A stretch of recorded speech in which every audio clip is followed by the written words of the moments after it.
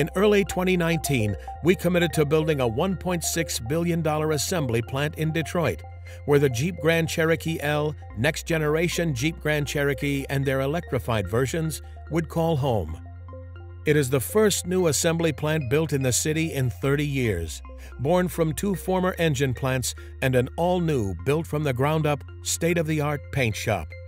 Part of the Detroit Assembly Complex, the Mack plant, has over 4,900 employees, including 3,850 new jobs created to support production.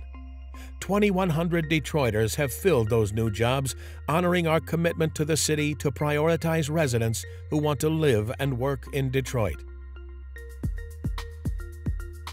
Beyond the jobs, and in partnership with the city, we are investing over $35 million directly into neighborhood improvement efforts, workforce development plans, education and training programs, and various environmental initiatives, all designed together with local stakeholders to ensure our operations bring sustainable change to the east side of Detroit.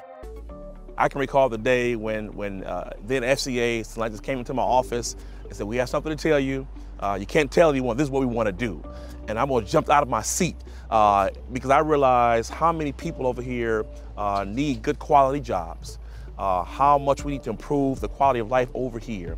When we went into competition uh, for the new Jeep plant, nobody thought the city of Detroit was a contender. And of course, FCA at the time had a, a, huge number of options in large uh, rural areas in different parts of the country. But uh, the fact that they took us seriously, that every time they made a cut, they kept us in there and let us pitch again, and they were just great uh, partners.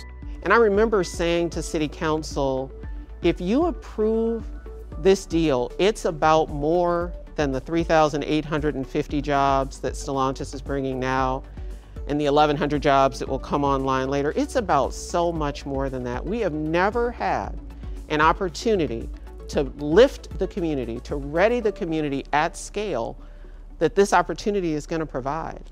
Number one is the fact that we have nearly 5,000 jobs here, and uh, many of the jobs uh, have been opened for City of Detroit residents in this immediate area, so that's fantastic.